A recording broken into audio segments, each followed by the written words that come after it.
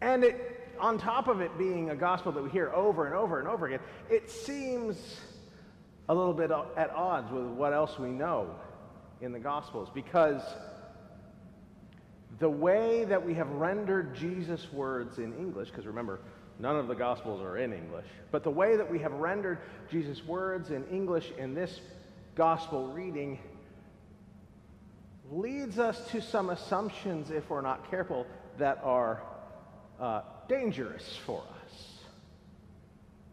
You could read tonight's Gospel and think that Jesus and God operate on the same fundamental principles as slot machines